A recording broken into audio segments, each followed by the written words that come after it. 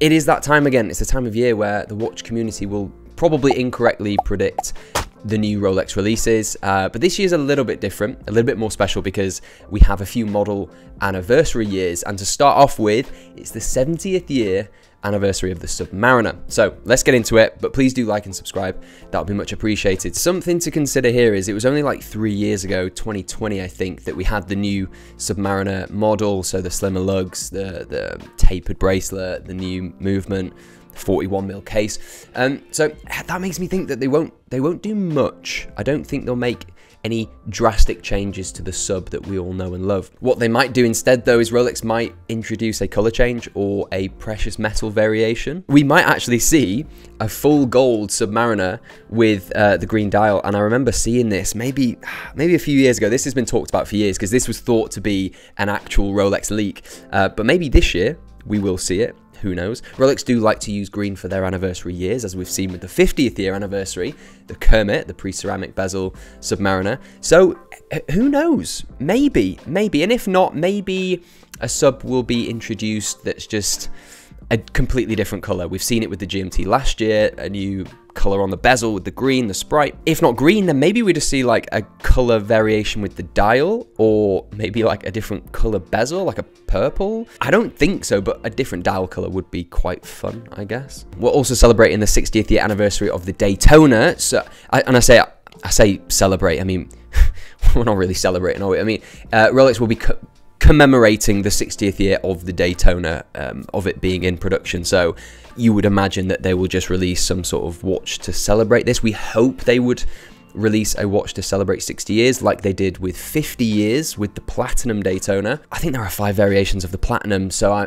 I, I don't think they'll release a variation of the Platinum to commemorate this year, the 60 years. But maybe they'll just do something with uh, the steel uh, Daytona and maybe they'll give us a full white dial uh, so including the, the white sub dials being white as well. I mean, or maybe like a, a, burgundy maroon color dial. That would be that would be interesting. There was also this very very skeptical leak, which to be honest, guys, like I'm not going to take this seriously because it's actually in a Rolex box. That's the first thing. But also, yeah, it's it's just not legit. But I thought I'd have a look at it. Um, blue bezel Daytona it probably would look very nice. It probably would be very popular, uh, especially if it was in steel. But the likelihood of this being legit is very small. I get that. Um, but again, like I said before with the sub, the Rolex like their green anniversary years. So maybe we will see the Hulk toner. Maybe.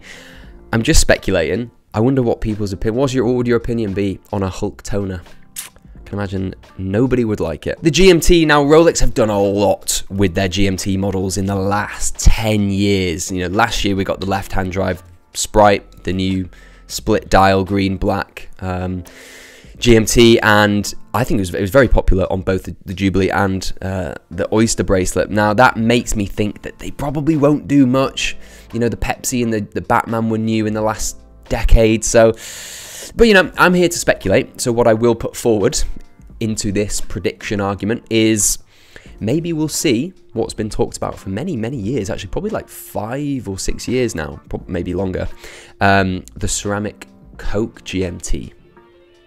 Very nice. The red and black. I had the pre ceramic version of this, the now discontinued uh, GMT Coke, and I regret selling it, um, as many people will when they look back. If nobody talked about this ceramic Coke GMT, they probably would release it. I, I can imagine that Rolex have produced certain watches and then just thought, you know what, let's not release it because I don't know. I don't know. Rolex always do what we don't expect and pretty much what we don't want to see in most cases, but um, let's also not forget about a seriously underrated watch, in my opinion, the now discontinued 116710LN, um, the full black GMT. Maybe this will get a makeover. Maybe the Rolex will release a uh, Jubilee version of this. Uh, that would be nice. I, I wouldn't mind that. I think that'd be really classy. One guarantee, though, that we will see with the GMT is the Unicorn GMT. Yes, the Cyclops and the Crown at 12 o'clock. This is a guarantee. This is the only one. it it makes me it makes me laugh when I see this. I don't know who who who did this, but it's brilliant. I love it. Um, 70 years also of the Explorer. Now, another anniversary, 70 years of the Explorer, 70 years in production for the Explorer. That's um, that's quite an achievement. The last Explorer update, I think it was the the introduction of the two-tone on 36 mil, which caused outrage. People didn't like it, and I, I understand the argument because it's a an ex, an adventure expedition explorer watch. So why would you need a, in precious metal? But Rolex do what Rolex do, right? Um, and with that said, what's to say that there won't be an explorer full precious metal, a full yellow gold 36 mil explorer? Wouldn't that be a sight? Would I like it? Probably not, but maybe, maybe Rolex will take it one step further and release it with the full gold. The Sky Dweller. Now, the, I think one of the best concept Rolex designs that I've ever seen is this uh, ice blue dial Sky Dweller. Steel or white gold, either way, I think this would be absolutely amazing. Looks incredible. And yeah, I, I would actually love to see this dial on more watches. We see it um, with the, the day date um, the new and the old. I just love the ice blue dial. So maybe, hopefully, that would be that would be incredible. I've also seen some sketches of like a uh, a rainbow gem set bezel sky dweller as well, which I can't say I like too much. But so the Explorer 2 update, maybe doubt it will happen this year. But if it did, what would be what would be the opinion of a ceramic bezel Explorer 2. I don't think it would go down very well, but it it using Rolex logic and progression, it makes sense. You look at the GMT, the Sub, the Daytona, the updates that they've had, the makeovers have now all included a ceramic a ceramic bezel. So I've seen these mock designs of the Explorer 2 in, in white and black with the ceramic bezel, and I think, do you know what? The black on black looks very good. Aesthetically looks very, very nice. I would not complain if that was to be released. I don't think the, the, the white dial black bezel looks that great, but who knows? I wouldn't buy an Explorer 2 anyway, just because at the moment it's 42 mil is too big, and I'm just not a fan of how it wears on my wrist. But I see the appeal for sure. It looks tasty. Does anyone agree?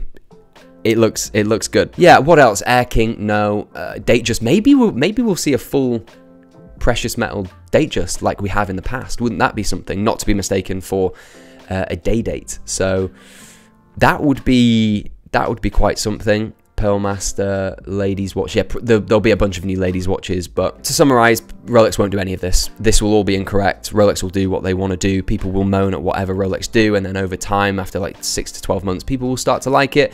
That's just what happens. But you know, I am here to speculate, just to you know throw some ideas out there. Um, but anyway, with the Rolex increase in price again, whatever happens, whatever they put out, Rolex will probably make a lot of money. That is for sure. That is the only guarantee in this video that they will make bucket loads of money. So congrats, Rolex. Uh, please give this video a like to support the channel and subscribe right now if you want to see more watch content. Much love, guys. I'll see you soon. Bye bye.